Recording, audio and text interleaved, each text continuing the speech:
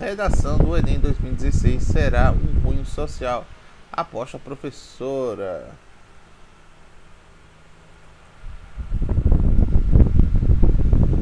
É, Sarai Azenhar, do, do, do curso pré-vestibular Oficina do Estudante, faz aposta para a redação do Enem.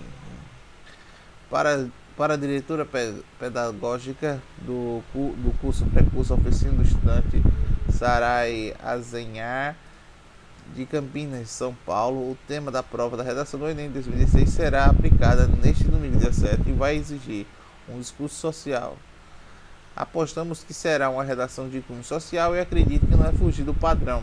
A discussão social já está muito evidente nas provas do Enem aplicadas neste sábado, disse.